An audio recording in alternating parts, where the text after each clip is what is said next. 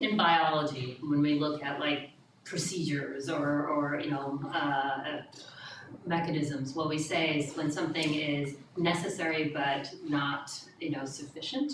So the TRIPS waiver is necessary but not sufficient to move forward, not just for this scenario, but I think all the stuff that we do during COVID sets a path, right, for what happens next. The reason why it's necessary but not sufficient is that in addition to having the permission to create those vaccines, what manufacturers abroad need in many other countries is the tech know-how, it's the recipe.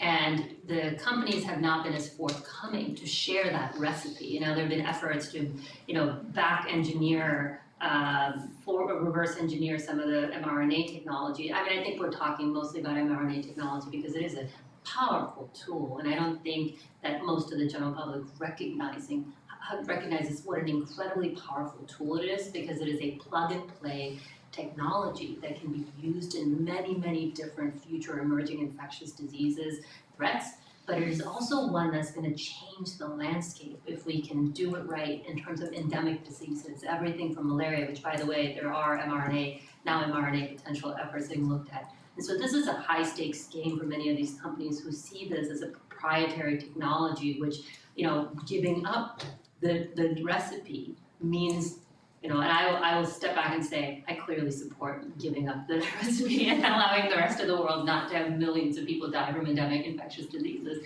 But, but what they see is a big loss, and they don't want to share that recipe. So that's one part.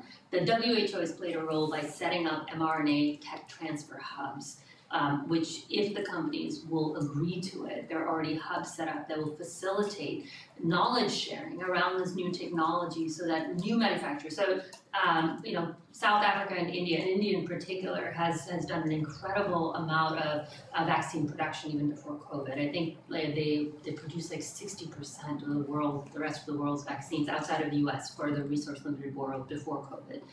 Um, and so the ability to be able to create this with the tech know-how would revolutionize the world vaccine, you know, scenario. But the, uh, the other things that companies have done, the short of that, you know, so is it enough? The, the other things that have done, so the, the tech know-how, the, the mRNA tech know-how hubs haven't been, there was, hasn't been as much partnership from Pfizer and from Moderna. And instead what they have pursued is what they said is finish and fill plants where they basically send the ready material with the recipe already cooked. And then they're filled up in, in particular areas. And so they're setting up one, I think, in South Africa. Um, no, I'll take that back. Moderna said they're going to set up a plant in Africa, but did not specify where, which country and when it would be. But so they've, they've talked about setting up this finish and fill plant. And Pfizer, I think, has looked um, to do the same somewhere in Latin America as well.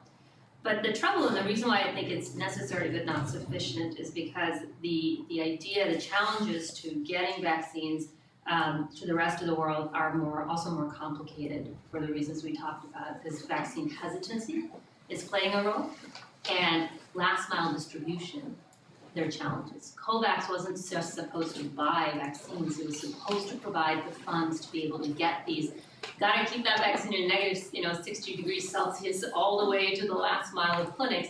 They needed to be able to provide that capacity. And in some of the places that I worked in, like electricity is not really reliable. You know, like when I've been, when I, I give like just thinking about places in Liberia where they would never be able to try to get, you know, these vaccines to some of the most remote places because there's just no access to reliable power. So how do you how do you sort of get you know this distribution? That requires funding, and COVAX has for a long time had a funding gap on those activities.